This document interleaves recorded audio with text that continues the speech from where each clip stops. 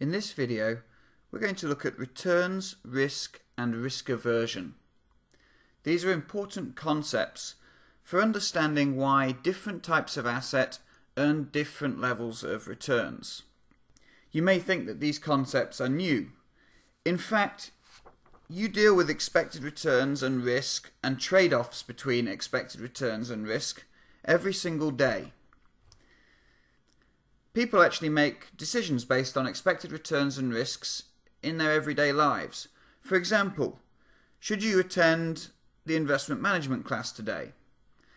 The return, if you skip the class, would be an hour of leisure time, but the risk would be that you might miss an important topic for the exams.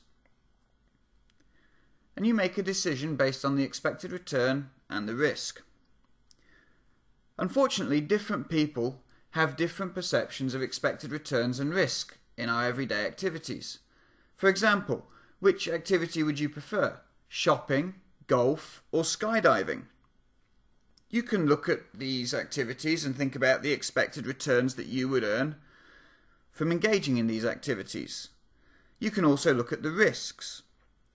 Now, many of you may think that skydiving is the riskiest option, but skydiving is probably safer than driving 20 miles to a shopping mall or a golf course.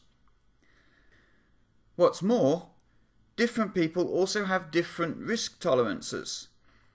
Some people are better able to cope with risk than others, and this will also affect their choices. In finance, to assess returns and risks, we use objective measures that can be calculated in spreadsheets. To calculate returns between time 0 and time 1, we're going to look at the following formula. Dividends that are paid on the stock between time 0 and time 1, plus the value of the stock at time 1 minus the value at time 0, all divided by the price at time 0. That's going to give us the return on the stock between time 0 and time 1. In finance, we have several measures of risk. For the time being, we're going to look at variance. And variance is just the average squared deviation of stock returns around the average return for that stock. We've introduced a few new concepts here Average returns are often denoted R bar, and they're going to be calculated as the sum of all the returns divided by the number of returns we observe. If we think about stocks, we may pick Intel, and we may look at five years of monthly data for Intel. That would give us 60 months of return observations. Every month we'd have a new return for Intel. And we would calculate the sum of the returns over that 60 month period and then divide through by 60 to calculate the average return. The variance is just going to be the squared deviations, the average squared deviations around the average return. And the standard deviation is the square root of the variance. We will apply these concepts in Excel in a couple of minutes time. But let's work through a simple example just to make sure we're all on the same page.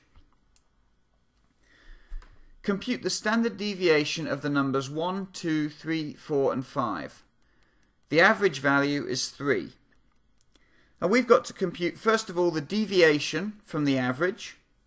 In this case 1 minus 3. In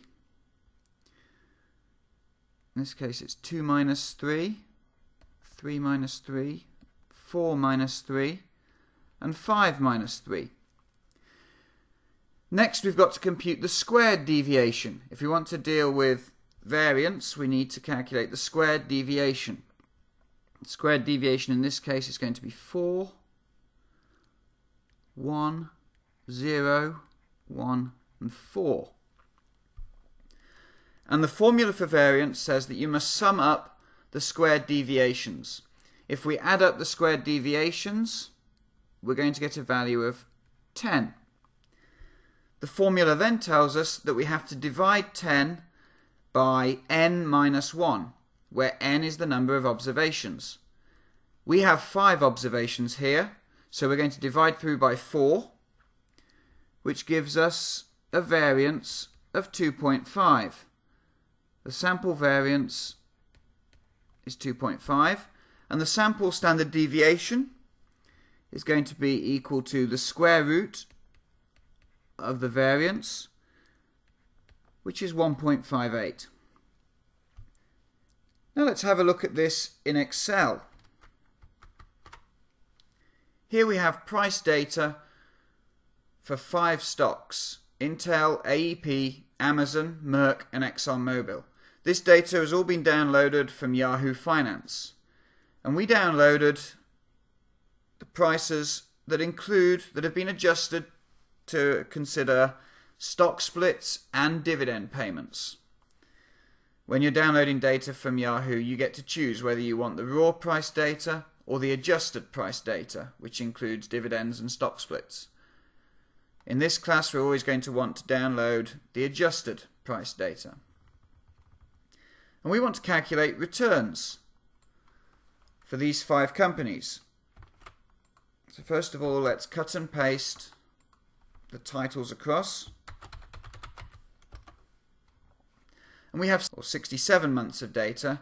We need to find a quick way to calculate returns for all these companies. Well, if we want to calculate the return between month 1 and month 2 for Intel, we're going to follow our formula which is going to be equal to the price at month 2 minus the price at month 1 all divided by the price at month 1 which gives us a return of minus 18.47%. We can do the same calculation for AEP, Amazon, Merck and ExxonMobil. The quick way to do this is to move the cursor to the bottom right hand corner of the cell and you'll see it comes up as a plus sign. Just drag, select and drag the cursor across all the way to ExxonMobil. Then release the cursor, the left button that is, and you've now calculated returns for all five stocks. We'll do the same trick to calculate returns over time.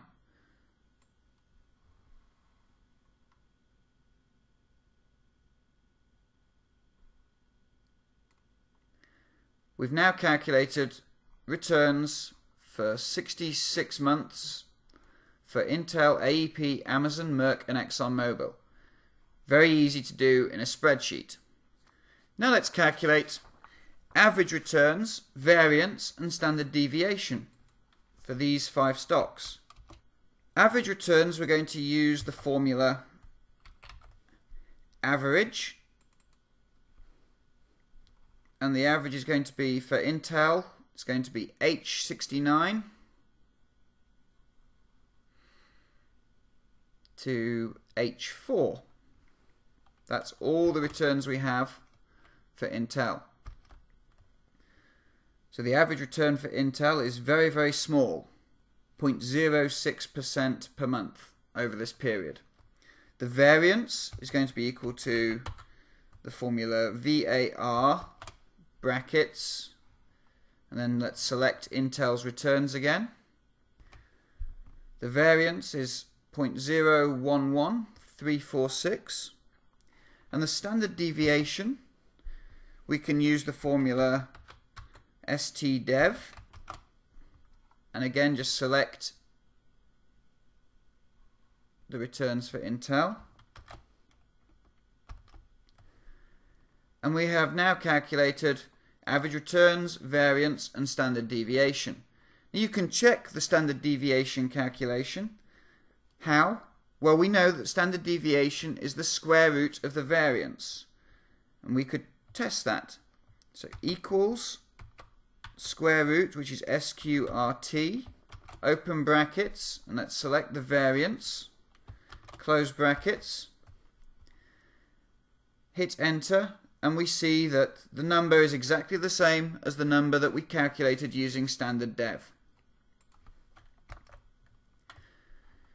To calculate the average returns, variance and standard deviation for all five stocks, let's select the three cells where we've calculated the average returns, variance and standard deviation for Intel.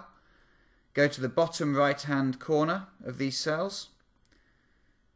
So you get the plus sign. Press the left cursor key down and hold. Copy across to ExxonMobil and then take your finger off the left cursor key. We've now calculated average returns and risk for these five stocks. You can now see the power of Excel.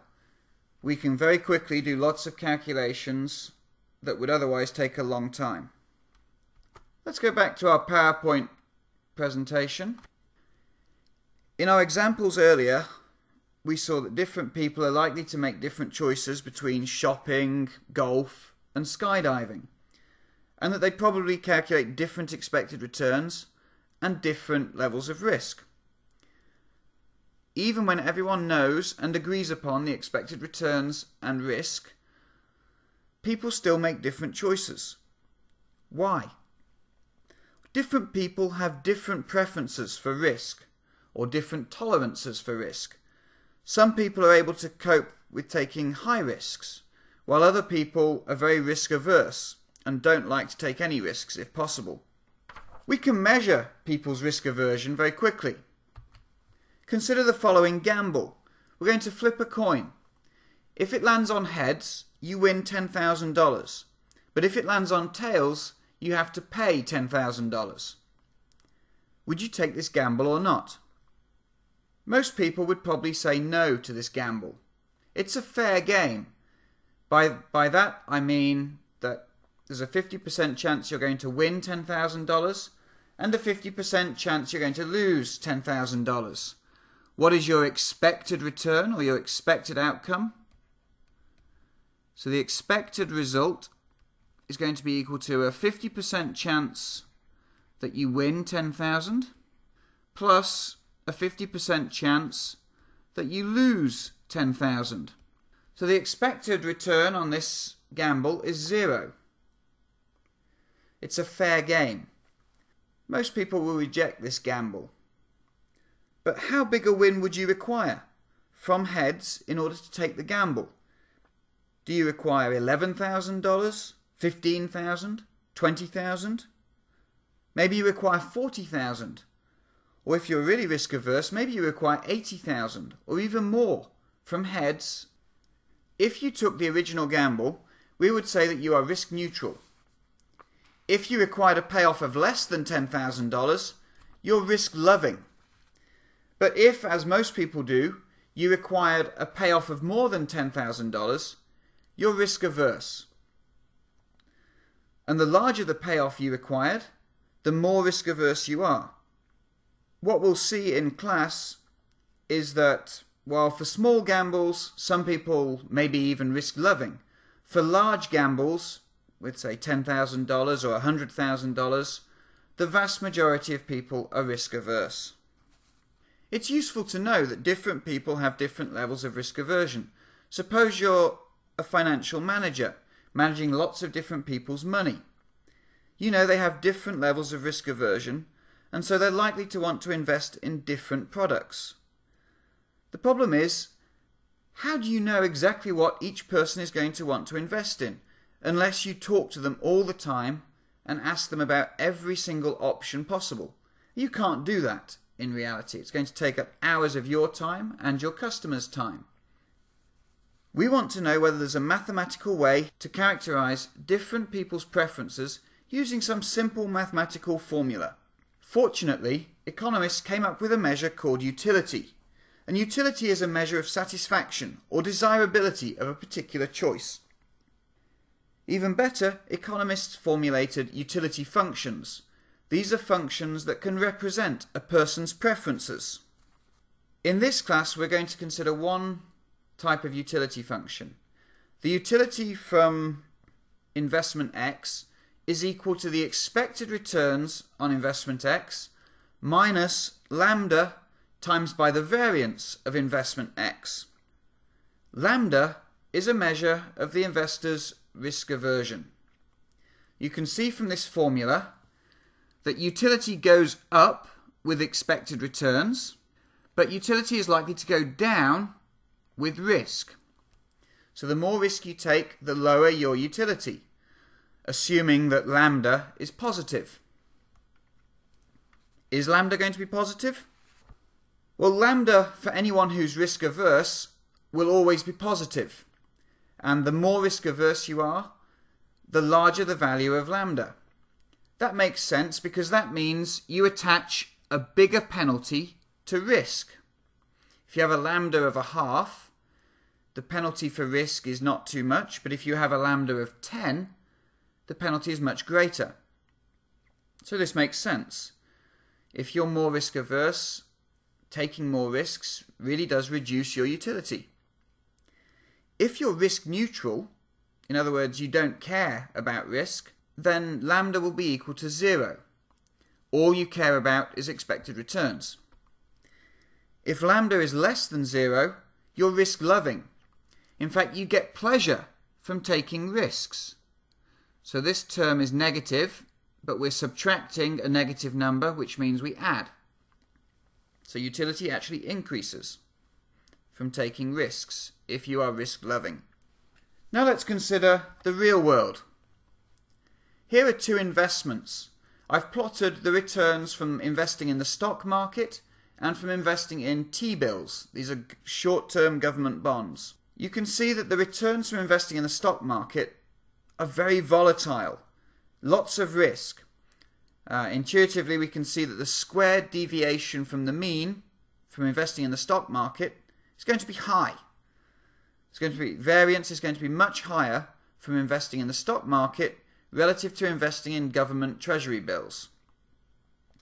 If individuals are risk averse, we would expect that the stock market will have to have higher average returns to compensate investors for bearing this extra risk.